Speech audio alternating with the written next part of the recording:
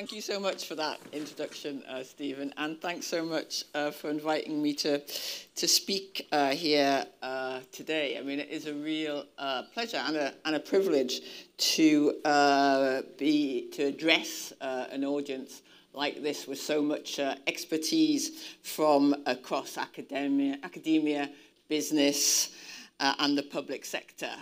you, you may find this hard to believe but uh, not everybody in Parliament always knows what they're talking about. but it is precisely uh, your, your talent, uh, your experiences, and which is uh, really uh, important, your capacity for innovation that has made the White City Innovation District the success that it is. And uh, we, which I mean Labour, but I think I also mean the country, uh, want to see that success replicated across the whole country. Um, and as Stephen said, I am an Imperial uh, graduate. It's a, it's a long, long time ago, uh, but it's still true that whenever I find myself in an Imperial uh, lecture theatre, I can't help wondering if I've done my homework. of course, um, it was um, I, I, I was uh, I was at the the other uh, the other campus. Um, some miles from here. But um, it, what I, the last time I was here um, in, at this campus was in 2018, uh, when I was really impressed by the innovation of the startups that I, that I met then. But also, and I think and Stephen sort of reflected this, and something that's really important as we for the policies that we're developing, I was really impressed by the level of community engagement. Um, and it has clearly gone from strength to strength. And now, um, um, Stephen talked about um, Hammersmith and Fulham's industrial strategy, which um, I want to pay tribute to.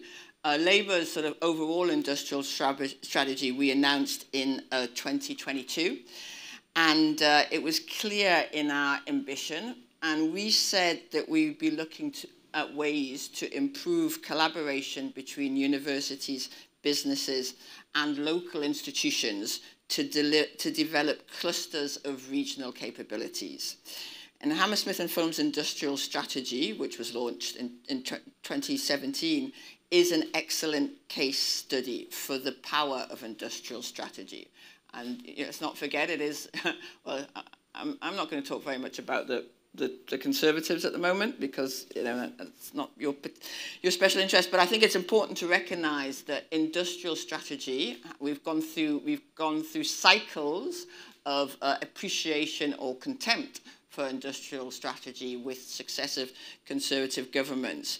We are very clear about the power of industrial strategy and learning the lessons from Hammersmith and Fulham and the industrial strategy here will help us to turn our ambition of the, for the whole country um, into achievement that we can all be proud of.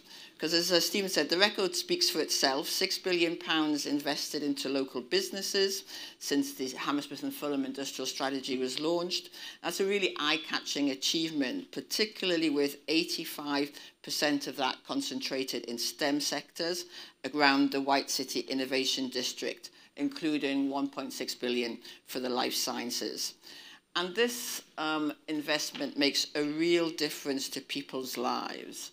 It's delivered over 8,100 jobs in highly skilled sectors, over 2,700 in the life sciences alone. And that message is something that I really want to get across on the doorsteps of Hammersmith and Fulham and also on the doorsteps of Newcastle and Bradford and Bristol. The, the realization, the fact that we do not have to accept a low wage, low skill, zero hour contract economic and economic conditions, that we can deliver well paid, highly skilled jobs for people across the country. And that's what we can see here in West London. And so the, the, the fact that the, the Council, Imperial College, charities, business, and the NHS, such a key institution, particularly for life sciences, have all come together to collaborate is a model that we are looking at very, very closely. And that purposeful building of connections has produced results that should raise the aspirations of politicians in both local and national government uh, across the country. So great credit to uh, Councillor Stephen Cowan and the rest of the council for setting out that leadership. Um, because it's not only about the direct investment in, in, and people directly employed in the sciences, it's about the uplift to the local economy. It's about the pride that people can have in hosting cutting edge science and research, and it's about inspiring the next generation. And I think it's really interesting, the uh, case, the Campaign for Science and Education, we pushed a report a few months ago, which was a, into looking at attitudes to science, a lot of interesting things to take away, particularly about the difference in attitudes to science between different demographics. But, almost, but what was clear was that all communities wanted to have a science asset, a lab or something in their community. That was something that that was something that people felt they would be proud of, and uh, and uh, I was really uh, touched a chord with me uh, because um, you know I was one of those irritating, well in some ways irritating young uh, girls who knew exactly what they wanted to be. I knew that I wanted to be an engineer uh, from a very young age, from about the age of nine, you know, but I wasn't aware of any any female engineers. And that made it quite hard to argue with those uh, in the playground, but also older, older people, uh, who said that girls could not do engineering. Uh, I suffered from what I now call Marie Curie syndrome, which is the inability to name more than one female scientist or engineer. Now, I went on to study engineering at Imperial, and it was, just to be clear, it was the basis for an absolutely fantastic career in professional engineering, which took me all over the world. Um, I almost always say that uh, being the Member of Parliament for Newcastle upon Tyne Central is the best job in the world, and the second best job is being an engineer. Uh, but the progress in increasing the diversity of STEM has been far too slow. Uh, I was first elected to Parliament in 2010 when women made up 10.5% of all engineers. Um, actually, coincidentally or not, that was about the proportion on my engineering, electrical engineering course at Imperial back in the 80s. Um, by 2022, that has risen to 16.5%. That's progress, but it's not good enough. Uh, Labour is looking at ways in which we can encourage young people to pursue careers in STEM, specifically to support early career researchers. I don't feel they'll have enough support now to progress and remain in the workforce and to tackle the specific barriers faced by people from diverse backgrounds in their careers. And outreach, not a term I'm particularly enamoured of, but I can't think of a better one, but outreach by Imperial around White City as part of their ambition for an inclusive innovation district is an inspiring model for the country. Whether it's the Agents of Change initiative supporting local women or the What the Tech program combating digital isolation in old people or Imperial's STEM uh, activities for over 3,000 children a year. It's great to see innovation and inclusion working in tandem here. So I hope that the, that the nine-year-olds around this campus, they know and can name great engineers of all different backgrounds. Now, of course, the success of the life sciences here has positive wide-reaching benefits across the country, whether economically or in health. And we all saw that firsthand during the COVID-19 pandemic. And we also show, saw that targeted long-term investment in life sciences by successive governments, because it, it did not happen, whilst the COVID uh, vaccine might have happened almost overnight, that base on which this discovery was built took many years to build. And it was a, was a crucial building block of this UK strength and expertise in the life sciences and beginning with the establishment, or beginning decades and gen, uh, generations ago, but the establishment of the Biosciences Innovation and Growth Team by the then Labour government in 2022. So when the pandemic began, the convening power of the state was instrumental in leveraging the expertise, um, that expertise, bringing various actors together and ultimately producing a new vaccine which helped make the world safer. And that was the latest chapter, if you like, in the proud history of life sciences in the UK. And it's that heritage that Labour would hope to add to in government through our plan for life sciences, which we launched last week and which obviously I highly recommend to you all, which it's, it's called a prescription for growth. Um, it, it, and it emphasizes how life sciences are key to our economy, key to our growth, and key to improving people's quality of life. And I would, we hope that everybody in this room could agree on that.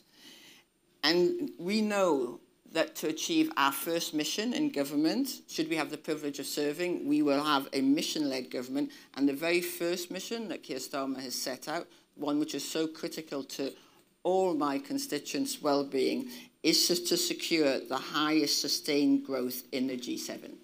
That's a huge ambition, given the levels of growth we've seen over the last 14 years. And to do that, we need to build on the life sciences vision and unleash the full potential of the sector.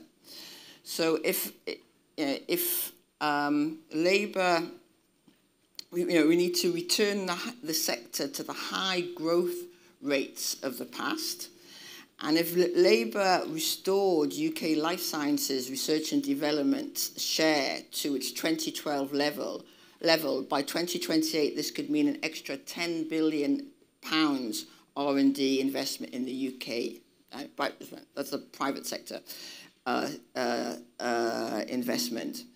So you know, I won't, I'm not going to go through the whole plan with you yet because I don't have a whole hour. But um, I do want to emphasize some of the highlights, and by do so, encourage you to get in touch if there's anything you'd like to raise with me based on your experiences in research and development here or, or your careers more widely. So one of the most important things to get right is the business environment. And in life sciences and across my brief, British innovators are developing world-leading products but they can often face significant barriers just to get started in a number of areas, but particularly in regulation. So, for example, you can require you know, a startup with some new and innovative product, where in life sciences, but also in clean technology. It can. I've talked to businesses where they are facing regulation from up to 11 different regulators. That's a huge minefield to try and cross. So Labour would establish a regulatory innovation office to help um, end regulatory backlogs, to hold regulators to account, uh, to provide strategic steers from the industrial strategy, and to bring new innovations to market sooner. And um, I'm, I'm, you know, I'd be really keen to hear what particular, any particular regulatory barriers that the startups and spinouts in this room are facing. But I also want to recognize that um, regulation you know, can be a barrier to innovation, but the right regulation can also be a driver for innovation by supporting competition, standardization, and integration. And I'm also very keen to hear examples where you see that can happen. Uh, now, we've also announced our intentions to provide stability and certainty for innovation by taking a long-term approach to public research and development funding. So, so we've announced that we will keep uh, the current R&D tax credit structure over the next Parliament, whilst we will be evaluating sector by sector the, um, the, the impact of R&D tax credits, uh, starting with the life sciences sector. And we've also announced that we would have 10-year R&D budgets for key research institutions. And that's a sort of, that's a key uh, commitment to long-termism in research and development funding. And it will create a more certain environment, a more certain funding environment more streamlined uh, funding processes to end uh, the current uh, government uh, short-termism and attract long-term investment. And it will also enable long-term partnerships between business and universities. And very, very important, and also, you know, I talk, talked about early career researchers and the short-term, the, the short-term contracts that so many early career researchers face, which have a, a number of disadvantages. It also it, it, it makes it harder for those uh, with caring commitments. It reduces the, the diversity of the sector. So long-term uh, R&D budget should help support greater job security within the, sec- within the early career sector as well. Um, and it should also, um, it's, a, you know, it's part of a wider agenda of reform that will address some of the issues with the current public, sec public funding environment um, by introducing a system of earned trust in place of retrospective and repetitive reporting and an audit by government departments and UKRI.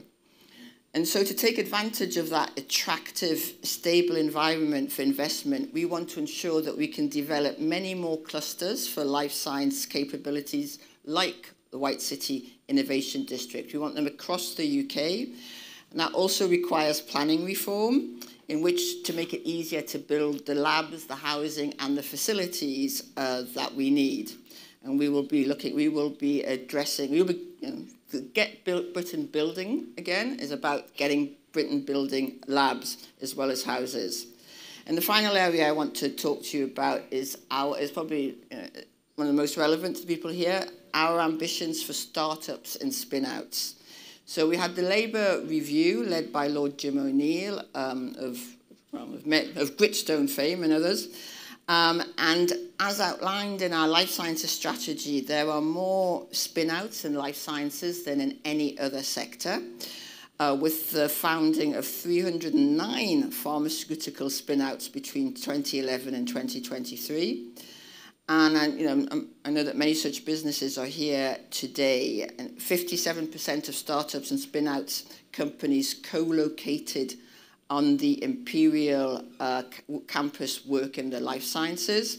And uh, that includes pioneering startups like um, Mediciv, Azer Labs, uh, DNA, uh, or Pair Bio. And we have many fantastic bio startups across the country which are driving growth, improving health outcomes, and changing lives. And just to mention another of our, we have five key missions, and one is getting, uh, well, getting the NHS uh, back on its feet again and delivering an NHS fit for the future. And obviously, the biosciences are a critical part of that. So we've said that we will increase the number of spin-outs coming out of universities and structure the innovation funding system to ensure that more of them successfully scale up. We have well, we have more than one, if you like, valley of death, but we have, we have certainly issues with, with access to capital for spin-outs and also particularly for scale-ups uh, particularly for deep tech. And this will include working with universities to encourage them to offer spin-outs a founder track option, one where the university takes a share of equity at or below 10%. Uh, and our plans for financial services. So last week we also uh, launched our, uh, our plans for financial services called Financial Growth. Again, I recommend it. Um, and that was launched by Rachel Reeves and Tulip Siddiq and that will help to unlock much more capital to help to fuel the startup spin-outs and scale-ups uh, that we want to see. We will reinvigorate our capital markets uh, by reviewing the pensions and retirement saving landscapes. I mean, it's one of the it's one of the if you like the ironies that we have a, a, a lack of investment capital right next to one of the great if not the great, uh, capital markets of the world. And so we'll, and we'll also be empowering the British Business Bank to invest more in growth capital and establishing a British TIBI scheme. And those of you who know what that is will, will know what it is, as it were. Um, to, and that's to increase institutional investment in venture capital. So it's quite, a, I mean, I've gone through you know, a number of policies there. We have, life sciences has been you know, it, it's been a key to our approach to science, but also more widely to, to growth. Um, it's something that Rachel Reeves talks about a lot, as does Keir Starmer, um, as does uh, Wes, Wes Streeting, our, our, Shadow Secretary of State for, for Health. Uh, this is uh, a, a, a critical part of our agenda. That's why I was so pleased to come here today and to see the success of the White City Innovation District, and that's something that we really wish to emulate across the, the, the country because this represents so many of the things that we are believing, a successful and, and, and established and consistent industrial strategy, collaboration between actors, you know, with the convening power of, of local or national government, access to capital, has driven increased pro prosperity and opportunity, which can actually be felt by constituents. I mean, one of the things that's really important that we recognize as people in the, the science world is that it's the, the public understanding of science and the benefits that science brings, and that includes specifically jobs and income, is absolutely critical to creating a country where science is valued and where innovation thrives and drives our economic and cultural well-being. And it's that kind of leadership that I want to see emulated across the country. And it's that kind of success which I hope uh, I if should should we should we uh, be elected to serve. It's that kind of success which a Labour government would like would would seek to drive across our entire country. Thank you very much.